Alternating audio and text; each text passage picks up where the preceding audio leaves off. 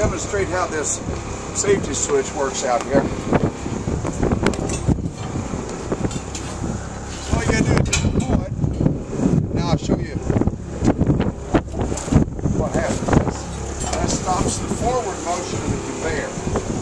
You got several possibilities. One is if the guy falls and, and let's say the conveyor is on, okay, you don't want to have that function disabled. Let's say he's got his arm in the conveyor, tied up in it. You don't want that, you want to be able to reverse it. Uh, so everything still works except the forward motion of the belt, I'll demonstrate.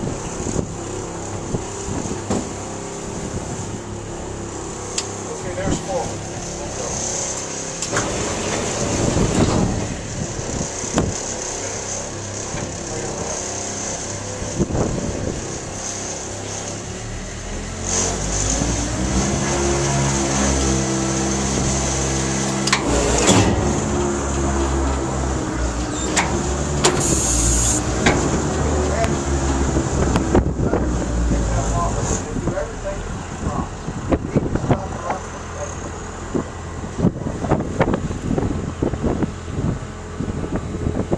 Now, if pull doesn't stop while your finger's on that anyway, because that's a con that's a contact. So.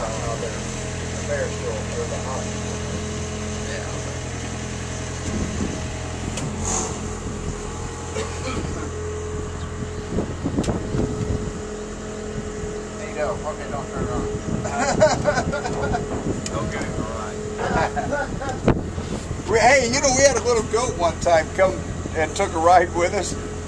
That goat was on every boat we had. We couldn't get rid of him. What? Yeah, he jumped on on one of the uh, one of the other big boats, and he hops on.